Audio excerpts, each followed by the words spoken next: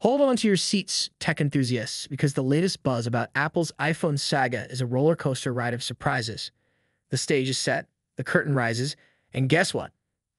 Apple's anticipating an electrifying twist in the tale of their iPhone 15 series.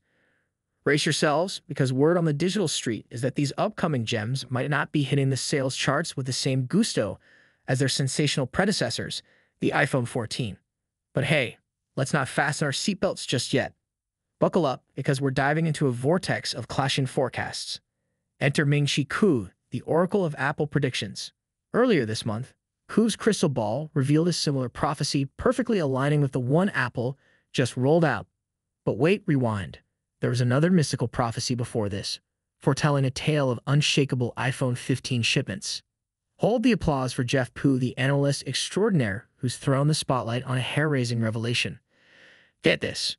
Apple's grand order for iPhone 15 units has gone through a thrilling transformation, shrinking from a towering 83 million to a tantalizing 77 million by the end of this very year. The plot thickens, my friends, as supply hitches and the occasional dip in demand play their part in this grand spectacle. But that's not all, folks. The drama unfolds with a cast of unruly characters. Sony's CMOS camera sensors once again stepping into the spotlight, the Pro models showing off a dashing titanium frame, and an enchanting new display flirting with slimmer bezels. Ah, the suspense. These elements, my friends, are the hurdles in this tech tale, making you grit the edge of your seat in anticipation.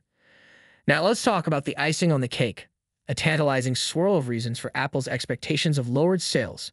The market's tempestuous conditions have their role in this thrilling narrative, as do the soaring prices of the iPhone 15 Pro and Pro Max.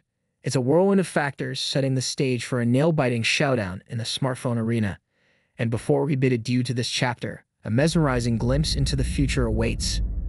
Amidst all the chaos, Jeff Pu's report smuggles in a sneak peek, a 48MP ultra-wide camera, and the high-speed dazzle of Wi-Fi 7, all nestled snugly in the wings, preparing to grace the dazzling stage of the iPhone 16 Pro and Pro Max models slated for 2024.